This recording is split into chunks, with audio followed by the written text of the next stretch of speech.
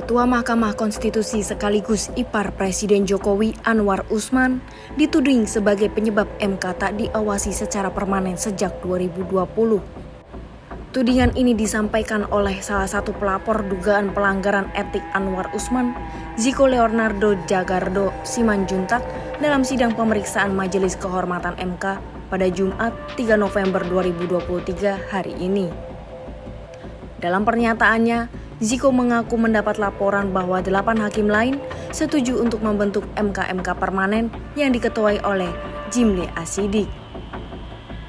Namun, Anwar Usman disebut-sebut enggan menyetujui hal tersebut dan diduga tidak mau mengumumkan MK-MK permanen.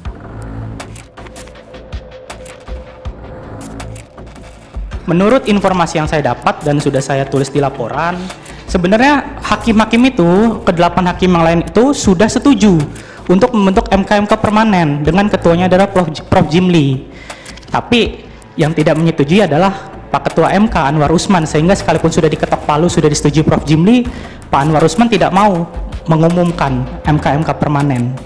Alasannya karena beliau tidak suka dengan Prof. Jimli kah atau karena beliau tidak mau diawasi kah saya tidak tahu. Menurut laporan Ziko, informasi tersebut diperoleh dari mantan Hakim Konstitusi Aswanto yang dicopot oleh DPR pada tahun lalu. Selain itu, Wakil Ketua MK Saldi Isra juga disebut sudah sejak lama mendesak supaya MK-MK dibentuk secara permanen.